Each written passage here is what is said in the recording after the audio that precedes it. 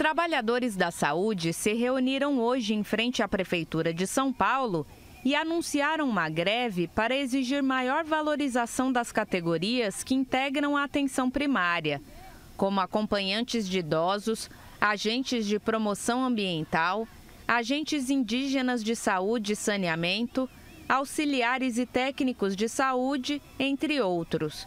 Eles reivindicam equiparação salarial com outras categorias que atuam na atenção primária, além de reajuste no auxílio creche, correção no valor do vale alimentação reduzido na última negociação. Os trabalhadores da atenção primária aqui de São Paulo estão ainda sem o reajuste convencionado de fato. A data base é maio, então o reajuste salarial, as questões que envolvem o benefício alimentar ainda está em descumprimento pela Prefeitura de São Paulo.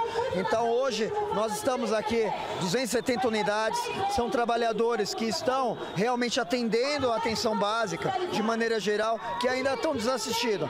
Hoje em dia, querendo é muito difícil você acabar comprando um, é, um prato, um almoço, né, que seja um PF, né, pagar menos de 20, 30 reais, né, hoje em dia, dependendo da região. E na nossa região é impossível a gente conseguir, né, pagar um PF com, com esse valor.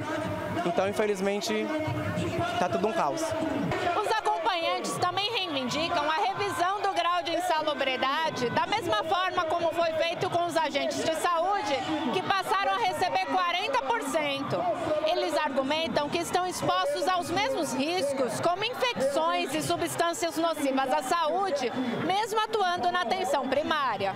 E a gente está lutando para que todas as categorias sejam reconhecidas e equipare esse salário, nosso benefício, né?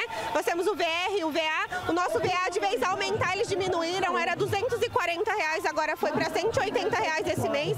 Então, eles de vez ajustar, melhorar, eles estão retirando os nossos direitos. E é por isso que a gente está lutando, para melhorar, para equiparar o salário de todo mundo. Mas nós estamos lutando por nada que não seja nosso direito. Os trabalhadores tentam, sem sucesso, abrir um canal de diálogo com a Prefeitura de São Paulo desde maio passado. Diante do impasse, decretaram estado de greve até que a situação seja resolvida. Faltando poucos dias para as eleições, os acompanhantes, agentes e técnicos de saúde intensificam as cobranças por uma resposta do prefeito Ricardo Nunes pedindo mais atenção para a saúde do município. Atendo urgentemente a demanda dos trabalhadores. Os nossos trabalhadores estão no UTI se a gente não fizer uma melhoria, eles vão começar a adoecer cada vez mais. Saúde mental, depressão, já é um gatilho que já existe no nosso trabalho diário. Então é muito importante ele atender os trabalhadores.